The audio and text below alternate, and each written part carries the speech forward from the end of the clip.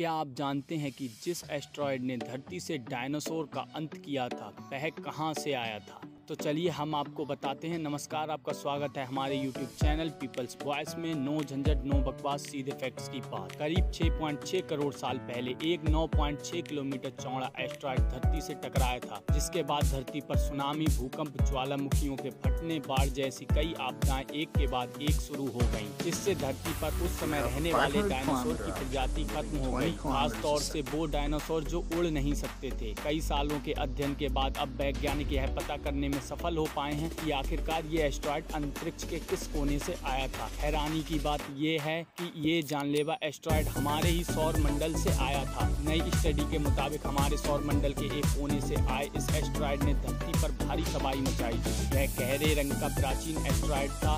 यह हमारे सौर मंडल के मुख्य एस्ट्रॉयड बेल्ट से धरती की तरफ़ आया था। यह बेल्ट मंगल ग्रह और बृहस्पति ग्रह के बीच में स्थित है। इस बेल्ट में लाखों की संख्या में डार्क एस्ट्रॉयड हैं। डार्क एस्ट्रॉयड वो पत्थर होते हैं जिनका निर्माण गहरे रंग के रसायनों से होता है। ये अन्य एस्ट्रॉयड की तुलना में सूरज की रोशनी को कम परावर्तित, यानी रिफ्लेक्ट करते हैं। कोलोराडो स्थित साउथ वेस्ट रिसर्च इंस्टीट्यूट के शोधकर्ता और इस खोज इस खोज के प्रमुख वैज्ञानिक डेविन नेसवर्नी ने कहा कि एस्ट्रॉयड बेल्ट का आधा बाहरी हिस्सा प्राचीन एस्ट्रॉयड से भरा हुआ है। हालाँकि मुझे इस बात पर अब भी संदेह है कि इतनी दूर से आने वाले एस्ट्रॉयड का इतना तगड़ा असर हुआ होगा। इस बात को लेकर अब भी स्टडी चल रही है, लेकिन ये आया तो मंगल और बृहस्पति बेल्ट से ही है। मैक्सिको के यूकाटन प्रायद्वीप पर यह एस्ट्रॉयड टकराया था, जिसकी वजह से वहाँ पर चिक्सलू क्रेटर बन गया। यह क्रेटर यानी गड्ढा 145 किलोमीटर व्यास का है। यहाँ और इसके आसपास किए गए खनन से न उड़ पाने वाले डायनासोर के अवशेष भी मिल चुके हैं।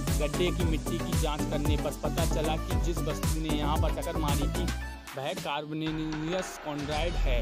उन्होंने करोड़ों सालों का विश्लेषण किया। इसमें उन्होंने थर्मल ऊर्जा, गुरुत्वाकर्षण बल, ग्रहों द्वारा अपने एस्ट्राइड को छोड़ देना आज देगा नतीजा ये आया कि पिछले 25 करोड़ साल में सिर्फ़ एक एस्ट्रॉयड अपने बेल्ट के बाहरी हिस्से से निकलकर बाहर आया और धरती से टकराया। चिक्सलूप क्रेटर इकलौता ऐसा गड्ढा है धरती पर जिसके एस्ट्रॉयड की टक्कर 6.6 करोड़ साल पहले हुई थी।